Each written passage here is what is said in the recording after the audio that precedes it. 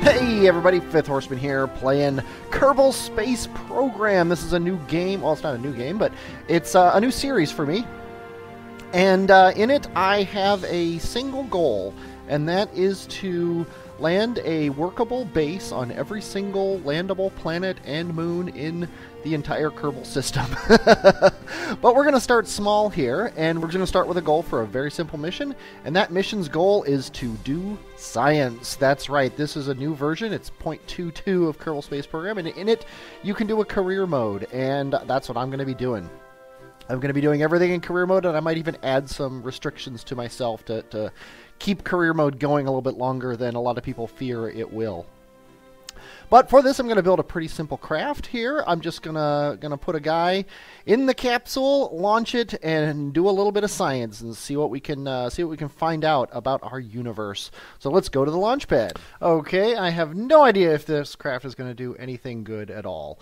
Um, basically, oh, you know what? One thing it's definitely got to do is not launch its.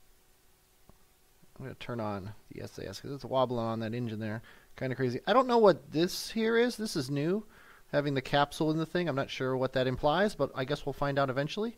Um, before we do anything, though, let's uh, let's take a crew report. Get our five MITs of value and send that back to Kerbal Space Center. You notice the antenna raises. We send our data. You can't really see what it says here, but we got credit for it. And then the antenna goes back down. So we're going to crank up the engines here, and we are going to go. um, the ship possibly a little over-engineered, but hey, we're doing science, right? now these solid rockets are going to burn out, and I don't have anything to decouple them. There are ways to decouple things, but I'm not going to do it. I'm not gonna. I'm not gonna do little tricks like like burning, burning other things at them and, and things like that. We're just gonna go up, see how high up we can get, take a look at the scenery. Pretty nice down there. There's a there's a runway down there you can't quite see. You can see the little the little uh, dirt of the runway. But we're heading up, and because we can't eject these solid rocket boosters, they're slowing us down a bit. But we are we are accelerating away from the surface, and we're at 20,000 meters, which is pretty good. 25,000. We're a lot higher than I thought we would get. But uh, Let's go ahead and take another crew report. It's worth another five MITs of data. Sign, or it's five MITs of data, and the scientific value is 3.5. I guess we'll keep that data. Why not? But uh, we're done. We have completed our our flight part of our mission. There's the southern tip of our continent. There's the mountains there. We got more mountains over here that have snow on them. Um, all these places are biomes, by the way, which means I can go to them and do science there and get science credits for that. I can also, this thing extended on its own, but I can also extend it, uh, at least, wait a minute. No, I have, I have electricity. Extend, there we go. Now it's going out. I can extend it on my own. Um, I'm in space, so tell you what. Let's do, let's do an EVA. We weren't really planning that. We're still going up. Jeb is in space. Look at that. I don't think he's going to let go. uh, we can do an EVA report, though. Might as well do that. That's worth eight science values, so let's go ahead and keep that. We've recorded our observations of the situation above Kerbin's shores. See, now if I was above some other part of Kerbin, this uh, science report would uh, keep that. Now, I can't keep two crew reports, but I can keep a crew report and an EVA report. Let's go ahead and get back in the ship before we uh, before we do. This is the map mode.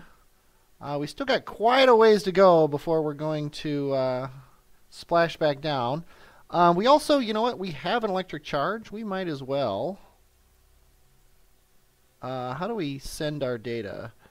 Um, review stored data. We only get 50% credit if we send this. Now I'm curious though, if we get 50% data, see 8 bits I can't, I can't, uh, crew report, override existing crew report, no. Oh, here's the crew report. It's 5 bits. I'm going to, okay, I can transmit this for 100%. So let's go ahead and transmit it. and now we we used up our energy, so we can't do that. But you know what we can do? We can take another crew report. uh, it seems they're very much in space right now. This guy seems to be mostly below us. That's nice. So let's go ahead and save that crew report. That's good. And uh, I guess now the only thing to do is to speed up time. Oh, the ship's throttled up, even though we're not don't have any gas, but the ship's throttled up. So we're going to speed up time a bit until uh, we come back down. You notice that, that our orbit looked like we were going into the water, but we're actually going to end up behind Kerbal, Kerbal Space Center because uh, we went straight up, and so we were actually being thrown this way because the planet is rotating that way. But we're coming back down. We should probably get that parachute ready to go. I know I've hit it, but it hasn't come out yet because we're not low enough in the atmosphere.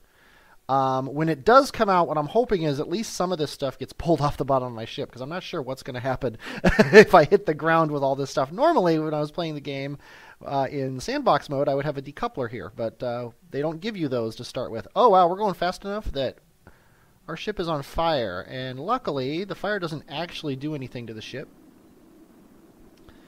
uh, like say burn the parachute. but I have a feeling that things are going to get interesting uh, when we come back down here. And uh, I am using Wash's definition of interesting from the Serenity movie. Oh God, oh God, we're all going to die. Jeb doesn't seem to mind. He's happy. In free fall, although we're not in free. Yeah, we are in free fall.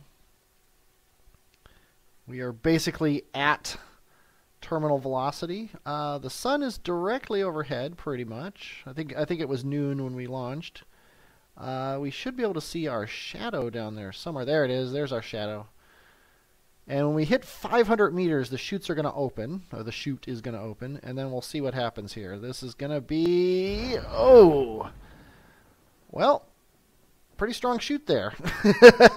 I was kind of I was half expecting this to break off and f- keep falling. I've had that happen to me before in uh, sandbox mode. But uh, we're cruising down at 15, 14 meters per second, which is kind of fast. So I fully expect my engines to explode here. Not much we can do about that. But we did science, which is important. And. Oh, explosions! And now we're just sitting here on top of our empty fuel tanks. Let's go ahead and turn the SAS off. Let's see if we can flip this guy over now. He's not strong enough. You can see he's trying. Oh, there we go. Wobble it, and it fell over. Okay. well, there you go. So let's go back to the Space Center.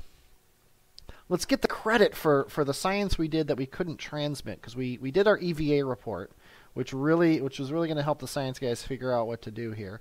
So we are going to go to our our tracking station here, which is where we find test launch one, which as we see on the map is sitting uh, I don't know a few kilometers away from Kerbal Space Center here.